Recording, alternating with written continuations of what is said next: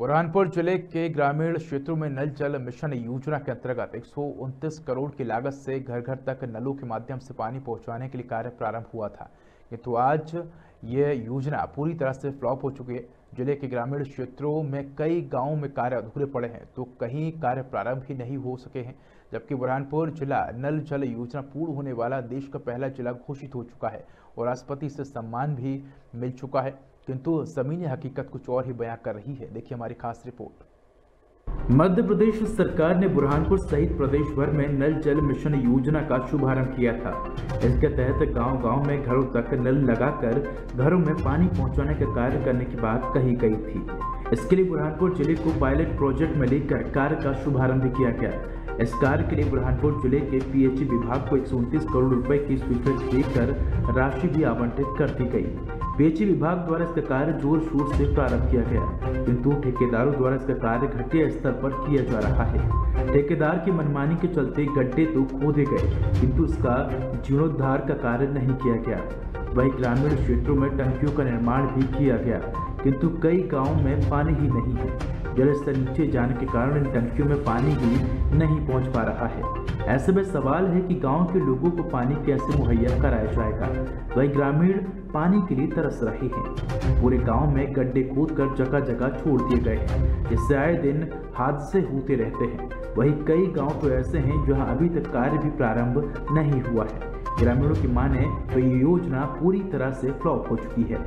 वहीं जब इस संबंध में शहर कांग्रेस अध्यक्ष से चर्चा की गई तो उन्होंने भी इस योजना की पोल खोल कर रख दी। उन्होंने बताया कि क्षेत्र के कई ग्रामों में इस योजना के तहत कार्य तो हुआ है किंतु नलों में पानी नहीं पहुँच पा रहा है। इसकी कार्य योजना सही तरीके से नहीं बनाई गई है। टंकियों में पानी भरने के बाद भी नलों में पानी नहीं पहुँच पा रहा है। इससे ग्रामीणों को पानी के लिए परेशान होना पड़ता है। वहीं जब इस संबंध में कलेक्टर भव्य मित्तल से चर्चा की गई तो उन्होंने बात को घुमाते हुए कहा कि कहीं भी कोई समस्या नहीं आ रही है।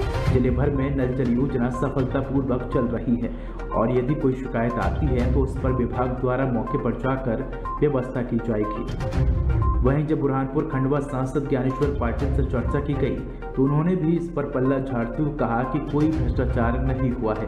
जमीनी स्तर पर कार्य पूर्ण हो चुका है। एक दो गाँव में समस्या हो सकती है जिसे व्यवस्थित कर लिया जाएगा। बुरहानपुर से एम के न्यूज़ की रिपोर्ट। आज़ाद नगर में है अमितपुरा में। ये दो वार्डों में हो चुका है। और गाँव में नहीं हुआ लोधी सात नंबर वार्ड में यहाँ पर सर्वे नहीं हुआ था अच्छा। तो अभी डीजी कोई विभाग के अधिकारियों से चर्चा हुई थी बीच में आए पंचायत में। तो उन्होंने बताया कि हम दोबारा उसका बोले सर्वे करते हैं उस समय उन्होंने ट्यूबवेल कर दिए और पाइपलाइन दे टंकी भी नहीं बनी है बता रहे टंकी भी एक से सात तक में कार्य हुआ अच्छा। गाँव में टोटल का अ, कितना बजट आया था इसका? बजट का चार चार करोड़ के आसपास सारे कागज़ पे हुए ऐसा तो मैंने तो नहीं सुना लेकिन यदि उनके ध्यान में कहीं ऐसा कोई विषय आया होगा कोई गाँव का तो वो अपनी तरफ़ से वहाँ पर कलेक्टर के पास में उस वहाँ पर उनकी जानकारी दे और उसमें यदि आग कहीं कमी बेसी गई तो उसको सुधारने के लिए हम विभाग से बात करेंगे और उसमें पूरा कराएँगे। जल जीवन मिशन योजना ज़मीन पर फेल हो चुकी है। गाँव पर तो ले लिया सब गिरा प्रशासन लेकिन ज़मीन में गाँव में पानी नहीं मिल रहा है। उसकी भी जाँच के आदेश किए हम लोगों ने आज। ऐसा होगा तो कार्रवाई होगी। नया नई पाइपलाइन और पुरानी पाइपलाइन के बीच में डिस्कनेक्शन करके उसको व्यवस्थित करने के लिए पीएचई को आदेशित किया गया है।